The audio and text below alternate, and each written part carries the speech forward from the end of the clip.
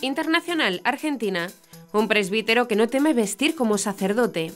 El padre Cristian Viña, párroco del Sagrado Corazón de Jesús en Cambaceres, en Buenos Aires, Argentina, explicó hace aproximadamente una semana qué significa para él vestir el hábito sacerdotal en todo momento, a pesar de lo cuestionado que pueda estar esta sencilla acción en estos tiempos.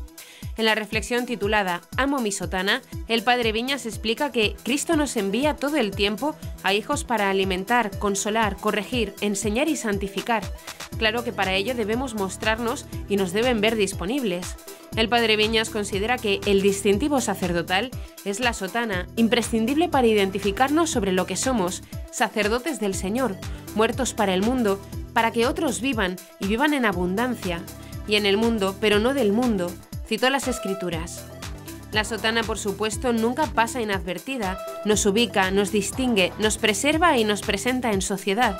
Y en una sociedad como la nuestra, donde los ideólogos del odio siembran todo el tiempo aversión contra los uniformados, desde los clérigos y las monjas hasta los militares y policías, pasando por los porteros de hoteles y edificios, constituye una clara identificación de lo que uno es y para quién es, asegura.